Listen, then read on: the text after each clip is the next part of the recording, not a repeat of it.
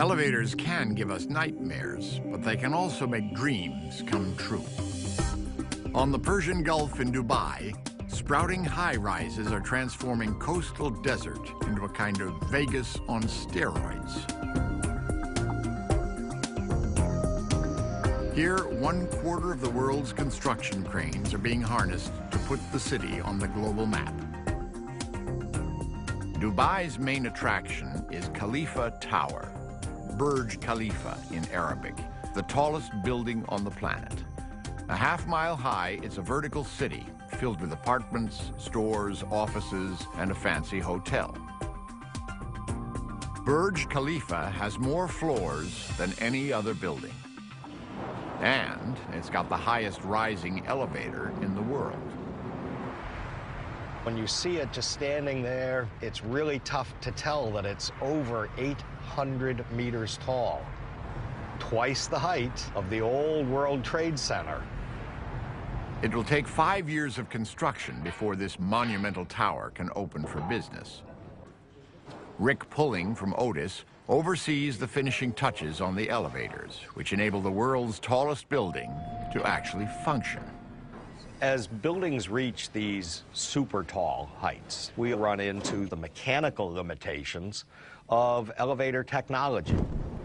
We're on the 141st floor, entering the BS machine room, where we have our 100-ton machine it's the largest machine made by Otis. And when we say a 100-ton machine, that's not the weight of the machine. That's the amount of mass that it can support. As elevators rise higher, cables get longer and therefore heavier. In the world's highest rising elevator, there are six and a half miles of cables weighing almost 30 tons.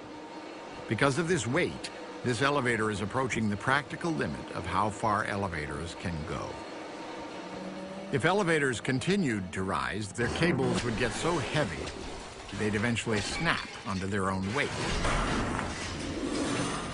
And in tall buildings, long cables have other limitations.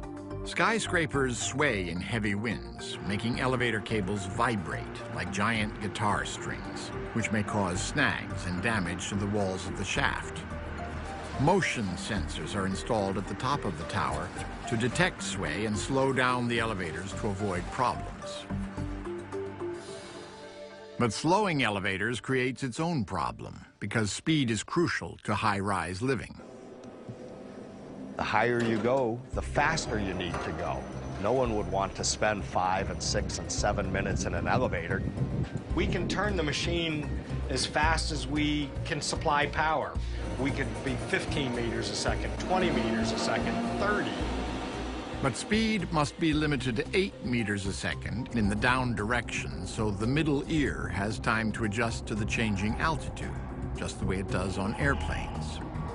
So while technically we can go very, very fast, human factors, ear pressure say, no, we can't accommodate that. We don't feel comfortable.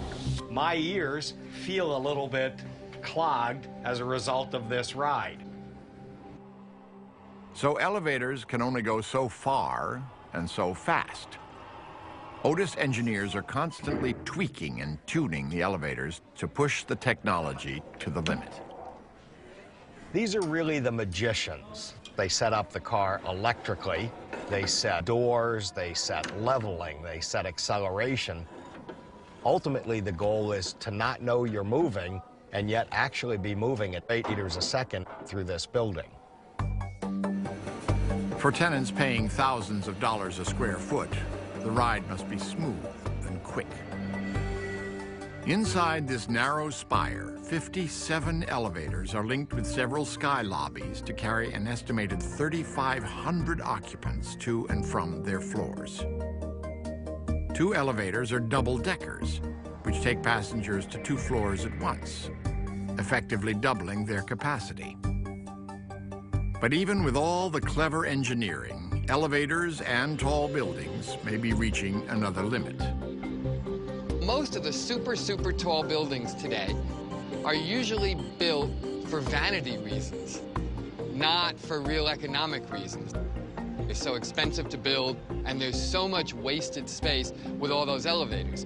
So it's strange that the elevator, which is the necessary thing to make skyscrapers possible, also kind of gets in the way when you get really, really, really tall. But wherever size matters, the urge to go tall will no doubt persist. As skyscrapers grow higher, people must discover new ways to get to the top in a quest for the elevator of tomorrow.